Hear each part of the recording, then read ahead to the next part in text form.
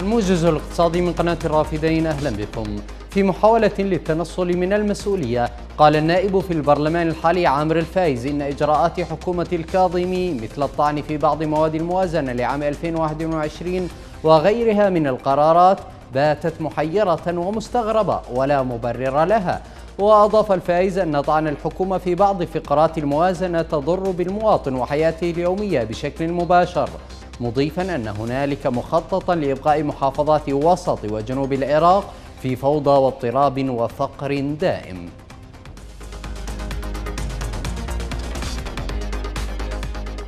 كشف القيادي في الحزب الديمقراطي الكردستاني ماجد شنغالي أن الأحزاب الحاكمة في العراق تربح يوميا ما يقارب ثمانية مليارات دينار يوميا عبر شركات الصيرفة التابعة لها بمساعدة البنك المركزي. وقال شنغالي إن البنك المركزي يبيع يوميا ما مقداره 200 مليون دولار بسعر صرف يصل إلى 1500 دينار لكل دولار واحد. ما يعني أن محاربة تهريب الدولار التي روجت لها جهات سياسية مجرد كذبة على حد وصفه. كشفت توقعات جديدة لمسؤولين في البنك المركزي في العراق عن ارتفاع كبير ومرتقب لقيمة الدولار أمام الدينار.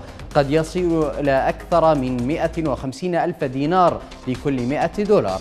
وأوضح المسؤول السابق في البنك المركزي محمود داغر أن ارتفاع سعر صرف الدولار يأتي بسبب التباين في تغطية الطلب على الدولار بين المصارف المحلية وهو ما انعكس سلبا على سعر الصرف. مبينا أن بعض المصارف تزيد من الطلب على الدولار وتأخذ كميات أكبر من المصارف الأخرى ما يؤدي إلى تقليص الكمية المطلوبة.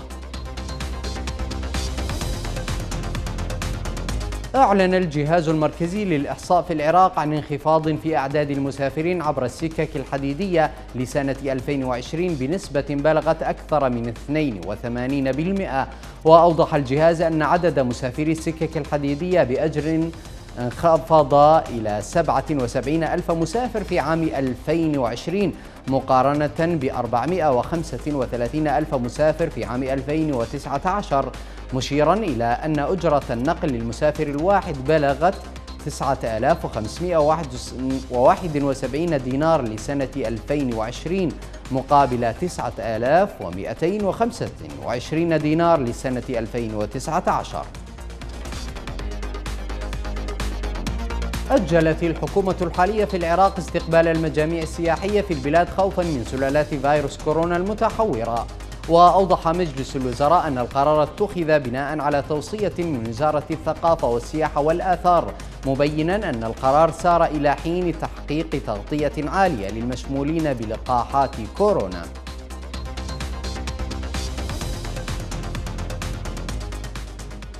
أعلنت الحكومة الحالية في بغداد أنها وافقت على مراجعة جميع العقود النفطية مع الشركات الأجنبية وأقر مجلس الوزراء بقيام وزارة النفط بتقديم الدراسة المناسبة بشأن مراجعة جميع العقود النفطية الموقعة مع الشركات الأجنبية لاستكشاف ونقل النفط والغاز في جميع أنحاء العراق.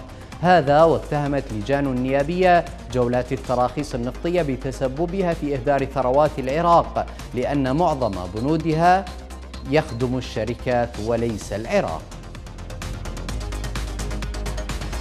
واصلت أسعار النفط ارتفاعها في الأسواق العالمية مع توقعات بزيادة الطلب على الخام بعد إعلان منظمة أوبك التزامها بخطة إعادة امدادات النفط لشهري حزيران وتموز للعام الجاري. وارتفعت العقود الآجلة لخام غرب تكساس الوسيط بنسبة 21 سنتا لتبلغ 67 دولارا و93 سنتا للبرميل.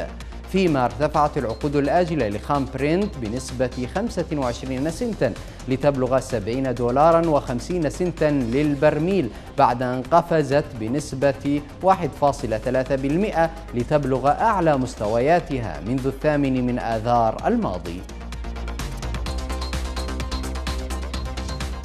ختام الموجز بأمان الله.